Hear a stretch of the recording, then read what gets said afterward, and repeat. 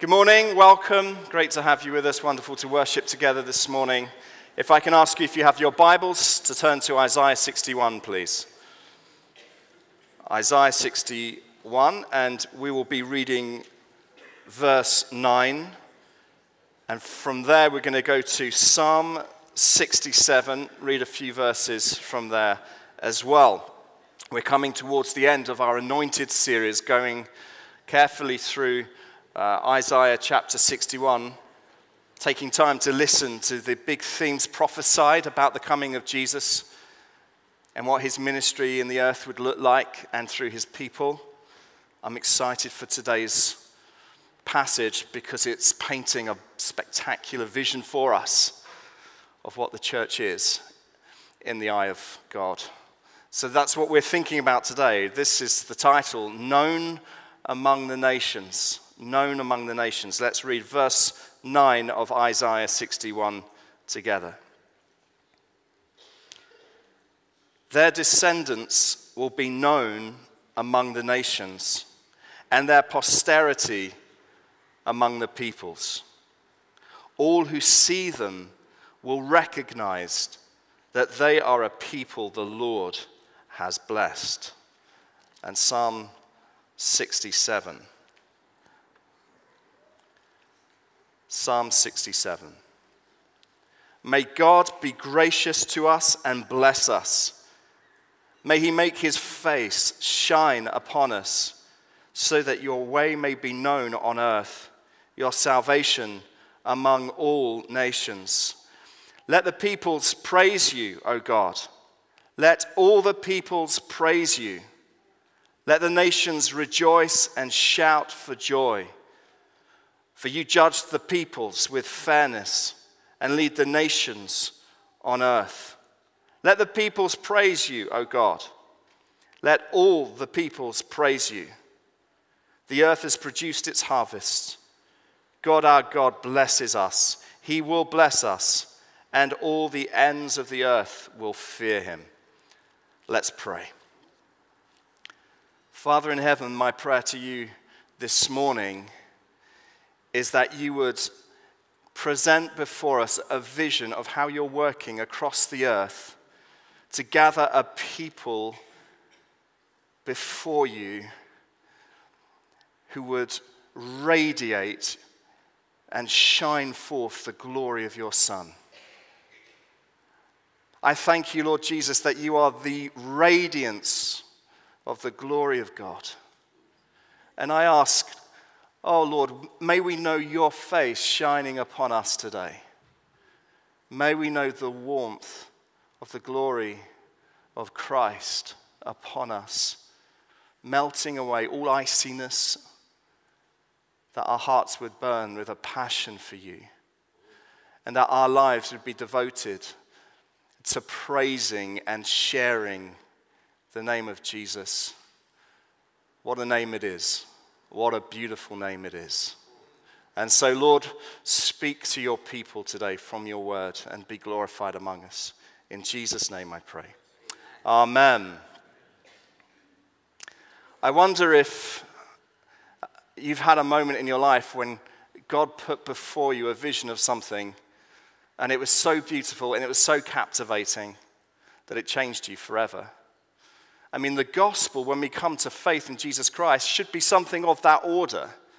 When we see Jesus as God and we see Jesus as the substitute for us in bearing the punishment of God for our sins, when we see Jesus dying on the cross, and, and it's not just this religious moment for Christians, but it's a deeply personal moment for me where I realize all of the things that I feared and had anxiety about, all the things that, that kept me up at night, maybe, all my worries for the future, my fear of death.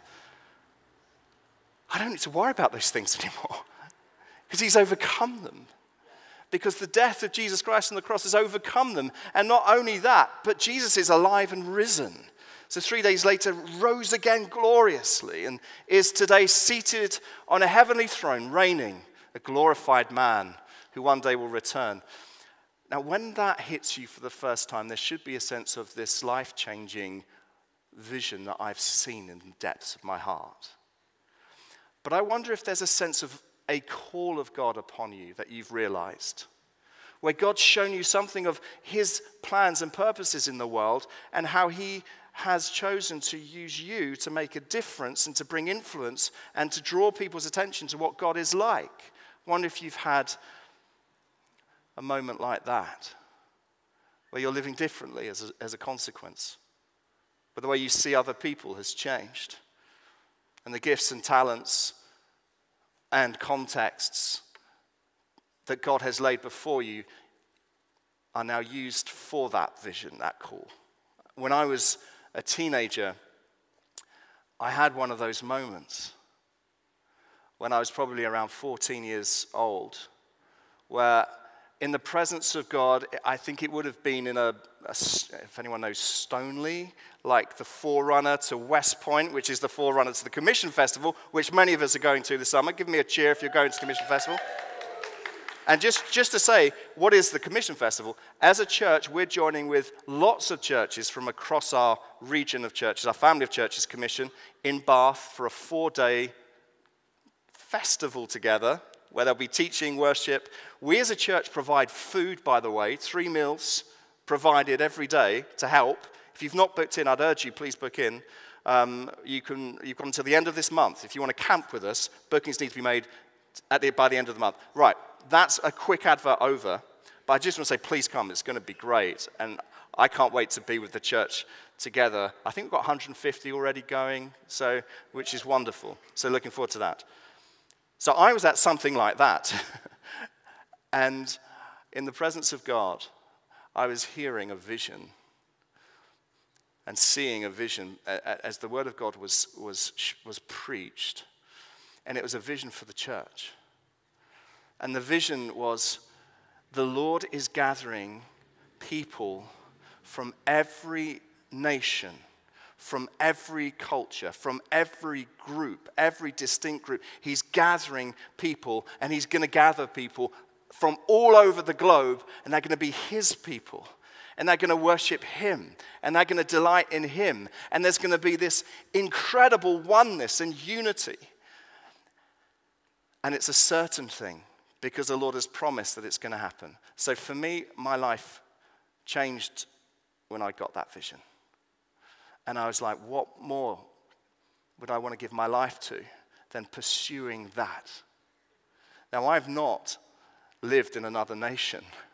That vision for me has been worked out in the context of the local church that I've been a part of, touching the nations of the world. Privilege of going and being involved in overseas mission work and supporting overseas mission work. I know many of you have been involved in overseas mission and I do believe that for some, maybe today, the Lord calls you to that.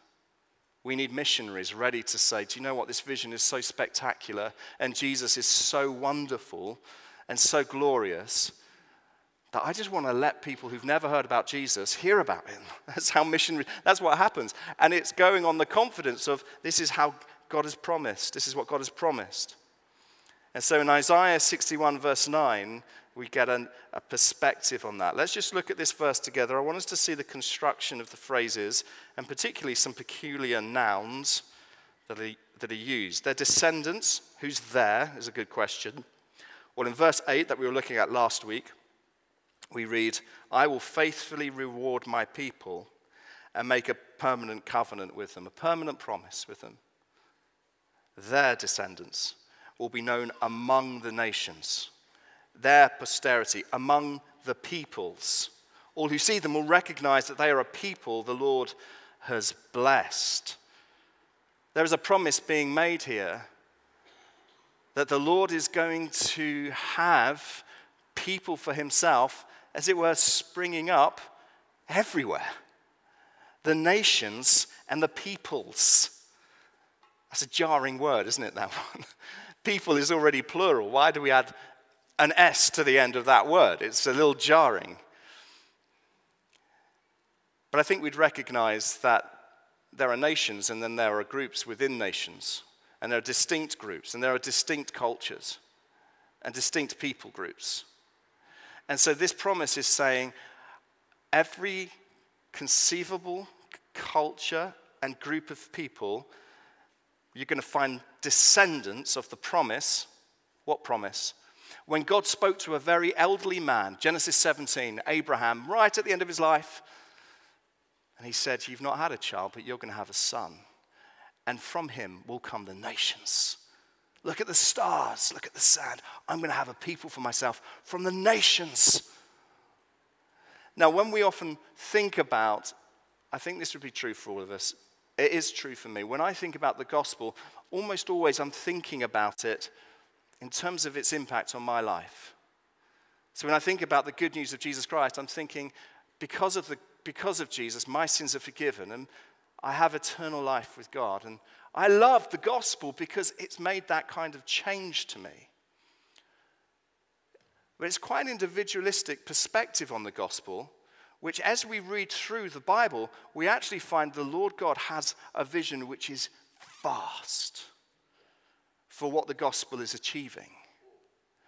And, and for you and I, if we're to get, if we're to plunder the riches of what Christ has done, then the Lord needs to help lift our perspective really highly, like an eagle soaring, so that we see above the context even of our own lives, above even the context of our own church, above even the context of our own city and our own nation, to get a, a view of the work of God across the world, across the ages, to be drawing, it says here, a people.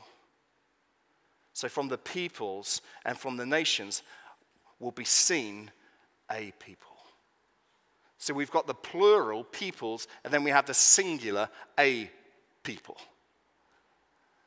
That this is a united, gathered people for God. And this is the vision that Isaiah is seeing in this moment. My people will be recognized, they will be seen. The people of the world will notice them, they will see them, they will be distinct, they will be recognized.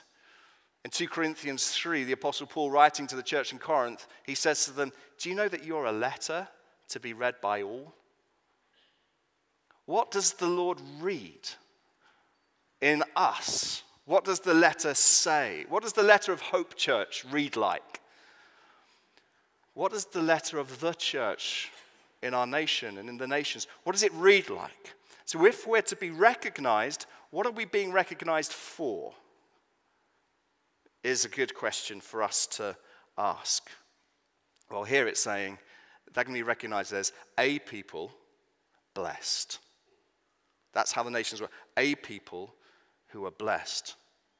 So, what, does, what it's not saying here is from the nations and from the peoples will come the denominations. Will come the Protestants, the Baptists, the Charismatics, the Evangelicals, the Catholics. Will come the Presbyterians. And you add any other denomination you, you, you might have in mind. From the nations, from the peoples, will come a people. So, what this does invariably cause us to think about is why does the church seem to be so divided? Why does, it, why, does it, why does the church appear to be so different? Why, why is it that there are so many different streams and denominations and churches? Have you ever wondered that? I can tell you, people who aren't Christians yet wonder about that. Why are you so divided? Why are there so many of you? What kind of church are you? Now, legitimately, we should ask, in light of all that's been said and prophesied here, why is it like that? Is it okay that it's like that? Well, Jesus said it would be. Okay, well, that's comforting. Jesus said that among the, the wheat will be weeds. Jesus said that even within the church, there's going to be a mix. There will be those who claim to be Christians who aren't. And even in the early church, among faithful Christians, there were disagreements and challenges. And divisions and disputes are always tragic in the church. And a church that is divided is a church that makes a very poor witness to the world around us. And I think we need to hold our hands up. Well, I'm holding my hands up and saying, oh, we've not done really very well in this area. So, whilst as a, as a young boy, I had this vision of some a beautiful people from every nation, tribe, and tongue, I knew what it was like to be a bit tribal. I knew what it was like to think that my church is better than their church.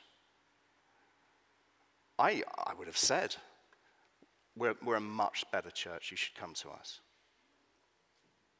Shocking. But there might be legitimate reasons why I would say to somebody, you shouldn't go there, you should come here. So, when it comes to challenges of division and difference, we just need to take it very carefully and seriously. On the one hand, we shouldn't diminish it or, or, or kind of pretend like it doesn't exist. And yet, on the other hand, we shouldn't let that reality kill us as well. So, I want to turn to Ephesians 4, which my wonderful friend Steve Chick read to us earlier, because that's the passage that I'd like us to think about in light of this. So, there are, there are differences, there are divisions. So, what is the nature of unity that we should be looking for? Because we should be looking for it because the Lord is calling us to it. So, Ephesians 4, verse 1. Therefore, I, the prisoner of the Lord, urge you to live worthy of the calling you've received with all humility and gentleness and patience, bearing with one another in love, making every effort to keep the unity of the Spirit through the bond of peace. I just want to stop there the letter to the Corinthians was written to a church, like we are, a local church. The letter to the Ephesians was written to many churches.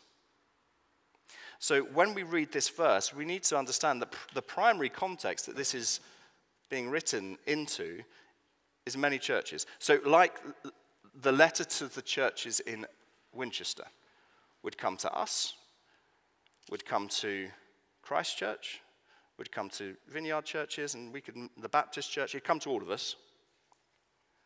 Right? And so we read, in light of that, hey, guys, with all humility and gentleness and patience, bear with one another in love. Making every effort to keep the unity of the Spirit through the bond of peace. Immediately, that's challenging. And it's very, very, but it's challenging because we go, we do really need to love one another. And here's the appeal, and here's the qualification for why he's writing these things. Because there is one body, there is one spirit, just as you are called to one hope at your calling. There is one Lord and one faith, one baptism, one God and Father of all, who is above all and through all and in all. So we're united here around truth. So unity comes initially, firstly, I'm saying here, through truth, through the gospel, through faith. And our gospel, the true gospel, is the gospel of all Christians and of all confessing uh, Christians who confess Jesus Christ as God and as the one who's conquered sin and death, who truly died and was truly resurrected. So, wherever that gospel is, we find brothers and sisters united together in one faith, by one spirit, into one body. So, we praise God for the expressions of his body in this city, which includes different styles different ways perhaps of worshipping. We would be a little more contemporary, maybe. Others would be a little more formal. But those are certainly not reasons for division.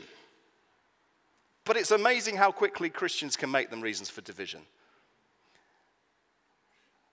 And we should be fighting and pursuing unity all the time. Pursue unity.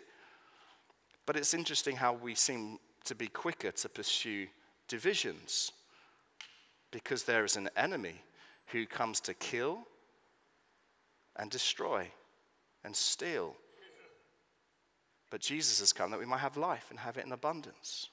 Verse 15 of Ephesians 4. But speaking the truth in love. Let us grow in every way into Him who is the head, Christ.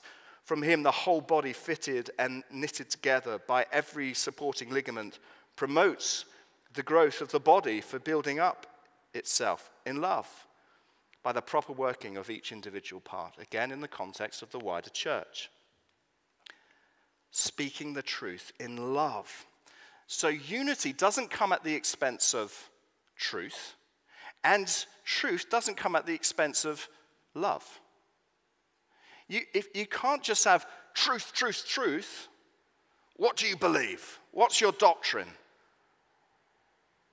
But no love for, for those people that you're talking to. And on the other hand, if you're saying, hey, hey man, it's just love, just love one another. It doesn't matter what they teach about the gospel, it's just about love. And Paul's saying, no, no, there's one Lord, there is one baptism, there is one faith, there is one Spirit.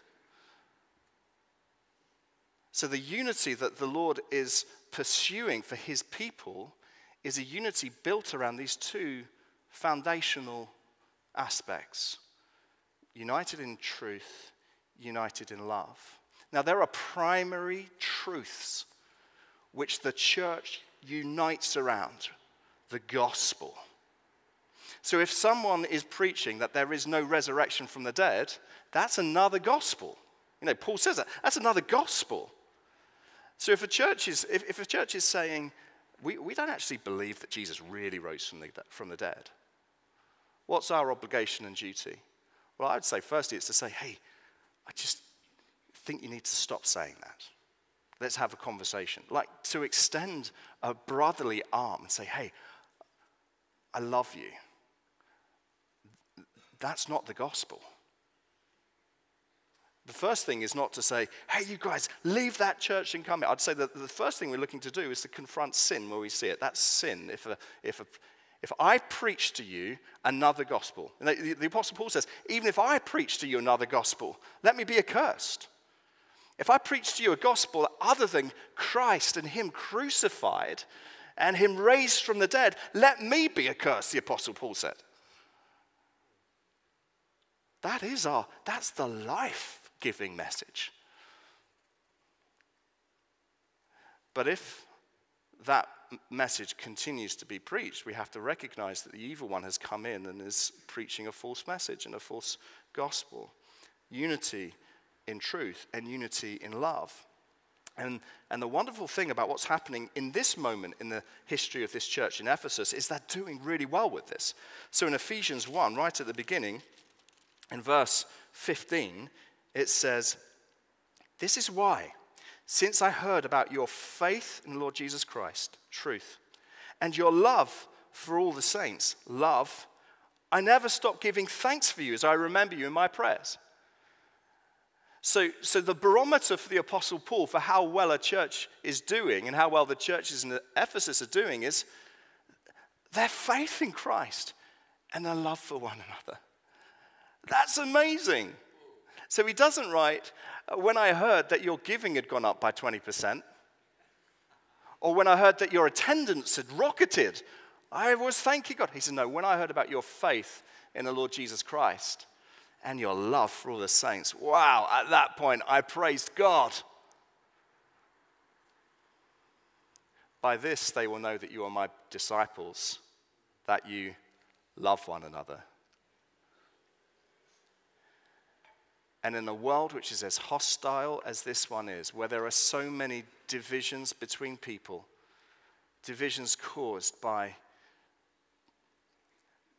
disparity of wealth or disparity of education, divisions on the grounds of racism, divisions on the grounds of politics. I mean, we're so good at finding reasons to be divided from one another. We are like PhD level, all of us, at, at finding reasons to be divided from one another. But the ministry of the gospel, the Apostle Paul says, is a ministry of reconciliation. That's what we are having worked among, among us. And it's not just reconciliation within your local church. So if you're so on the one hand, if you're like, hey, I'm, I'm so well knit in my local church, but yet you're, you're, you're, you're, you're, you're speaking harshly and you're undermining other Christians and other churches, then you're propagating division. So this, this challenge comes here, and your love for it's all the saints. So that means that we pray and love the other churches in our location and in our nation and around the nations of the world. So if the Anglican church is really struggling, we don't go, oh, that's them, this is us. No, that, that's us. That's the church. Let's pray for the church. In the same way that they will, I hope, pray for us when we struggle and when we have and when we will. We need one another. We're a body. We're committed to this. Amen? It's crucial for the health and for the witness of God's people. Okay, as I begin to wind up, let's just go back to Isaiah 61. And the question is, what does it look like to be blessed? So when it says right at the end, a people will be recognized by the Lord as blessed, what, what does that look like? What are people seeing? Now, I know I've said unity is a, is a big one, but there's something even more, I think, spectacular that the Lord's wanting to, to happen among his people. And to show you what that is, I want you to just turn back a page to Isaiah chapter 60. Listen to this. This is stunning vision for the church. Arise, shine, for your light has come, and the glory of the Lord shines over you. For look, darkness will cover the earth, and total darkness the peoples. Let's just stop there.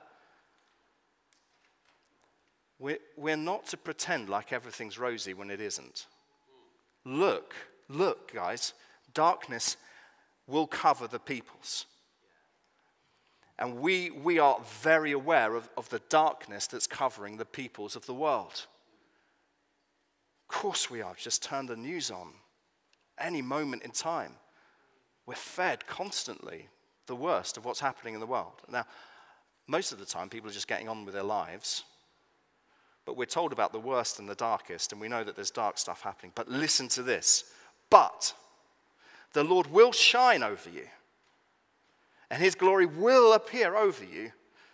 Nations will come to your light, and kings to your shining brightness. Wow. Raise your eyes and look around. They all gather and come to you. Your sons will come from far away, and your daughters on the hips of nannies. Then you will see and be radiant, and your heart will tremble and rejoice because the riches of the sea will become yours, and the wealth of the nations will come to you. That's the vision for the church. That's the vision that got me when I was 14. I want us as a church to have that kind of big picture vision. That we would be a people who radiate. How do we radiate? Well, the glory of the Lord has shone upon us in Psalm 67 that we read earlier. May your face shine upon us. What is that? It's Jesus Christ, who is the radiance of the glory of God. He shines on his people. He is the light of the world, and the light has overcome the darkness. And Jesus Christ is overcoming the darkness in our world. Look, darkness reigns, but his light will shine over. His glory will overcome it. It's a promise, and we've been hearing repeatedly through today. Hear it again. The Lord does not lie, He's faithful to His promise. He will do it. There's coming a day when the glory of God melts away all darkness and his light shines so brilliantly and brightly that any sin left in me or in any people group will melt away before him as he beautifies and perfects his church to be the radiant, spotless bride that he has determined to have and is going to have. Praise God.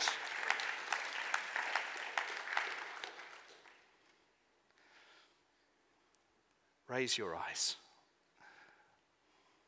Look. I had the privilege, Lizzie and I, in October, we went to Cyprus to join with leaders from around the world. I've mentioned it before. But we heard of people coming to know Jesus at a remarkable rate in some remarkable countries China, Pakistan, across South America, India, Iraq. People coming to realize Jesus is God. And Jesus is compassionate and merciful and gracious and kind. And, and, and the light of his love is greater than the darkness of hatred. People coming to faith in Jesus. Look, let me assure you, it's happening around the globe today. The rate of people coming to faith in Jesus Christ in China is reported to be around 25 to 30,000 a day. Believe that. Our churches that we're in relationship directly with in India in the last five years have gone from 60 churches to 200, no, 300 now. And there's a clear plan in place for 1,000 churches by 2030. And they are planting into Bangladesh and into Indonesia. It's, a, it's happening. It can be very easy for us to get downcast and just look at the darkness. But let me tell you, the Lord is on the move and He is saving men, women, and children around the world. It's happening.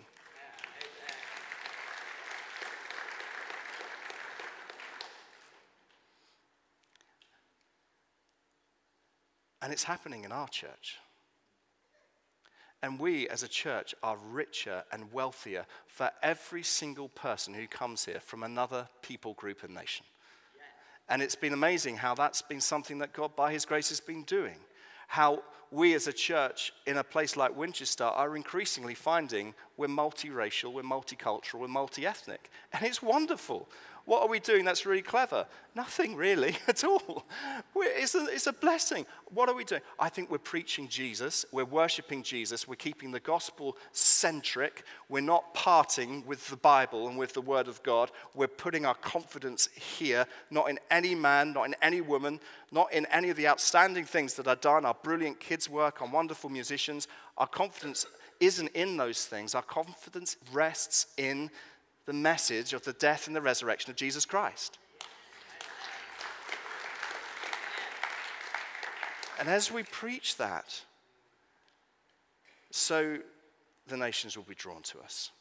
And Jesus said, If I am lifted up, I will draw all people unto myself. What is the lifting up? It's the cross, it's the narrow way through which the peoples of the world come and through which the glory of Christ shines, so that we become radiant, blessed, seen as blessed. It was said of the disciples by the Pharisees and the scribes, they've been with Jesus. oh, I want that to be said of me and of us. They've been with Jesus. So let's read finally, and I'm going to sign off just by reading this text Revelation 7 9 to 10. This is what it looks like in the end. If the band can come up. After this, I looked, and there was a vast multitude from every nation, tribe, people, and language, which no one could number, standing before the throne and before the Lamb. And they were clothed in white robes and palm branches in their hands. And they cried out in a loud voice. Salvation belongs to our God who is seated on the throne and to the Lamb. All the angels stood around the throne, and along with the elders and the four living creatures, they fell face down before the throne and worshipped God, saying, Amen. Blessing and glory and wisdom and thanksgiving and honor and power and strength be to our God forever and ever. Amen. Why don't we stand together? Lord, we thank you for this spectacular vision that you have portrayed before us in your word.